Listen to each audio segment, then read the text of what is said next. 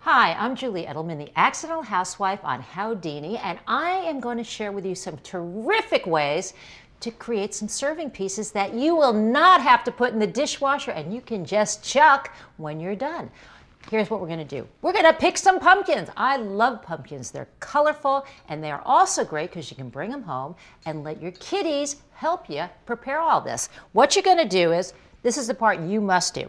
You're going to slice off the top part, all right, to create a lid. You don't want them doing it because you don't want to be rushing them to that old hospital, all right? You want to be having fun and relaxing.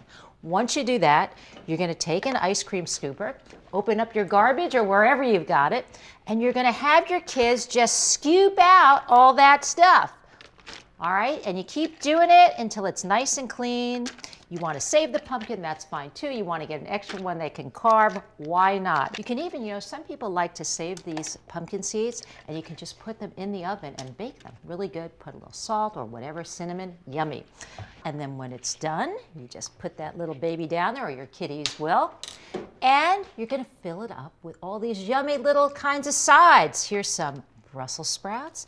You just load that pumpkin up. Mmm. And you just keep loading and loading until it's nice and full. And when it is full, this is terrific. It's like a little lid. You just put that lid on there, and doesn't that look just lovely? All right. Also great for cranberry. Take that can, forget the dishes, dump that baby right in. Mmm.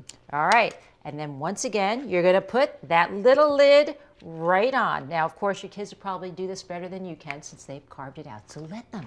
And lastly, here's another great little serving tip. And by the way, get all different size pumpkins because that way, depending on if you have maybe stuffing, whatever your side dish might be, nuts, appetizers, whatever you think you can put in there, go for it. Here's some little peas. You put those, and look how pretty this all looks.